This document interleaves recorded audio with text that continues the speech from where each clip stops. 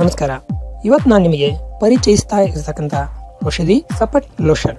ಇದರ ಮೇಲೆ ಆಕ್ರಿ ಇಲಾಜ್ ಅಂತ ಬರೆದಿದ್ದಾರೆ.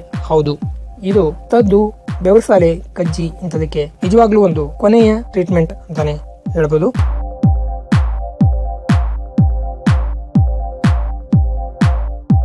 ಇದರಲ್ಲಿ ಇರ್ತಕ್ಕಂಥ ಔಷಧಿ ಸ್ಯಾಲಿಸಿಲಿಕ್ ಆಸಿಡ್ ಕಿನ್ ಲೋಷನ್.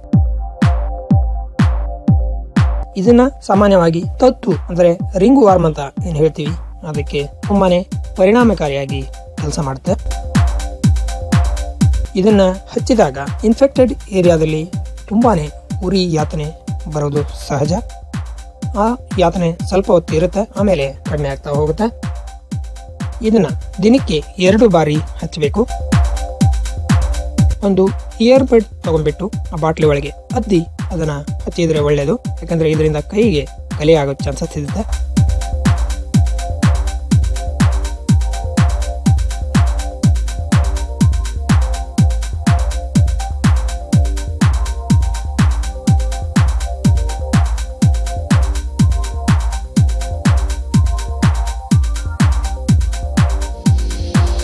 ಇದನ್ನ ಬಳಸಿದ ತಕ್ಷಣ ಇದರ ಮುಚ್ಚಳವನ್ನು ಹಾಕಿ ಮುಚ್ಚಿಡಿ. ಯಾಕಂದ್ರೆ ತುಂಬ ಬೇಗನೆ ಗಾಳಿಗೆ ಆರಿ ಹೋಗುತ್ತೆ. ಗಾಯಕ್ಕೆ ಹಚ್ಚಿದ ಸ್ವಲ್ಪ ಹೊತ್ತಿನಲ್ಲಿ ಆ ಗಾಯದಲ್ಲಿ ಅದು ಡ್ರೈ ಆಗಿಬಿಡುತ್ತೆ. ಸುಮಾರು ಒಂದು ವಾರದೊಳಗೆ ಇದು ತನ್ನ ಪರಿಣಾಮ ತೋರಿಸುತ್ತೆ. ಒಂದು ವಾರ ಆದಮೇಲೆ ಹಚ್ಚಿದ ಜಾಗದಲ್ಲಿರ್ತಕ್ಕಂಥ ಚರ್ಮ ಪೇಪರಿನ ಥರ ಸುಲಿದು ಹೋಗುತ್ತೆ. ಅಂದರೆ ಅಲ್ಲಿ ಇನ್ಫೆಕ್ಷನ್ ಕೂಡ ಹೋಗಿದೆ ಅಂತಲೇ ಅರ್ಥ. ಮತ್ತೆ ಏನಾದರೂ ಅದೇ ಜಾಗದಲ್ಲಿ ಕಾಣಿಸಿಕೊಂಡ್ರೆ ಇದನ್ನ ಮತ್ತೆ ಒಂದು ವಾರ ಹದಿನೈದು ದಿನ ಹಚ್ಚಿದ ಹೋಗಿ.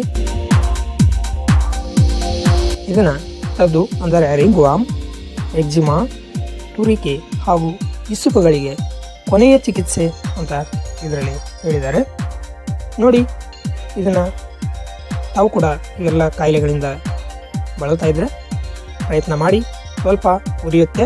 ಅದನ್ನು ತಡೆದುಕೊಳ್ಳುವ ಸಾಮರ್ಥ್ಯವನ್ನು ರೂಢಿಸಿಕೊಳ್ಳಿ. ಹಾಗೂ ಜೊತೆಗೆ ವೈದ್ಯರ ಸಲಹೆ ಕೂಡ ಪಡೆಯೋದನ್ನು ಮರಿಬೇಡಿ ಅಂತ ಹೇಳ್ತಾ ಈ ವಿಡಿಯೋ ತಮಗೆ ಇಷ್ಟವಾಗಿದ್ದಲ್ಲಿ ದಯವಿಟ್ಟು ಸಬ್ಸ್ಕ್ರೈಬ್ ಮಾಡಿ. ಧನ್ಯವಾದ.